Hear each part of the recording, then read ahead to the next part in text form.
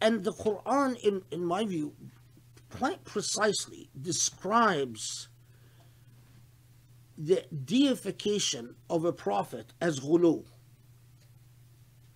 Because this was a consistent pattern in medieval history, especially pre Islamic history, that in the same way that the human beings deified kings and queens,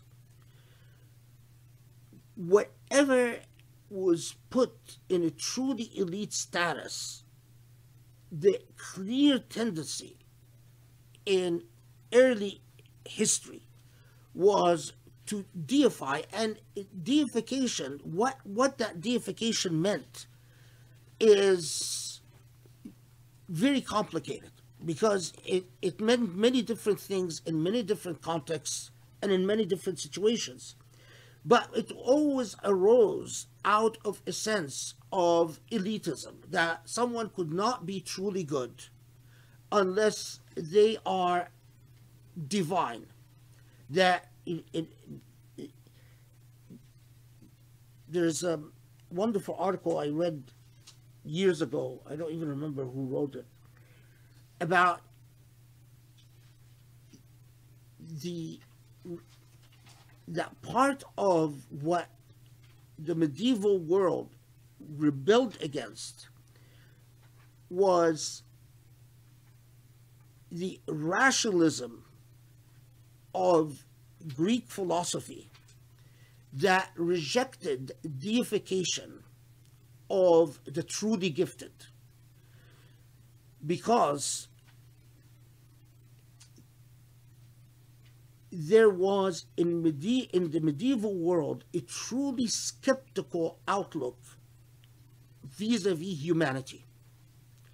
That a normal human being could not be truly good. And that the truly good had to be either angelic or divine, in other words, superhuman.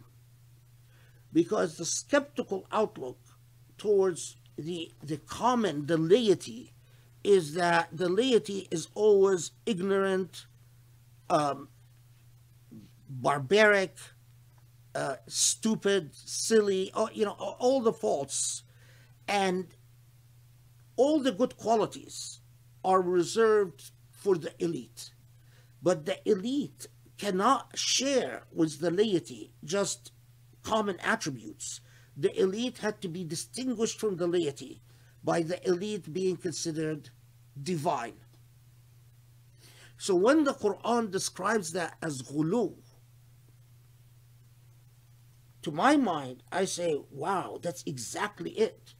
Because the reason you deified is because of your skepticism and negative outlook as to the common human being. It could Jesus could not be truly good unless Jesus was not like other human beings.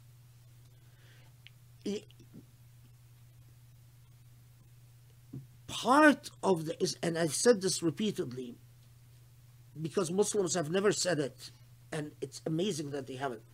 That part of the Islamic revolution was to come and to restore belief in the lay human being, the average human being. No, a human being can be super without being divine.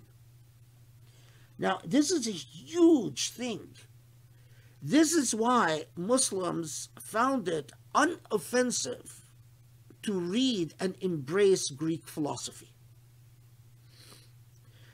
It, Greek philosophy talked reason. Socrates was not divine, Aristotle was not divine, Plato was not divine. They understood that logic. The church fought Greek philosophy because they didn't understand that logic. How could the layperson reach I can't hear, so I often have a hard time pronouncing words. Ecclesiastical eh, aspirations. How could the layperson reach that celestial position? That has to be only for the elite who are touched by the divine. So, subhanallah, I mean, just the Quran has these numerous little things that make you pause and say, wow, you know, just what an amazing text. So when the Quran describes it as ghulu, it's exactly that.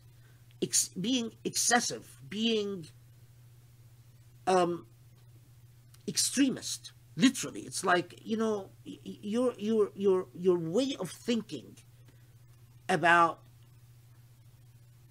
the nature of human beings is messed up.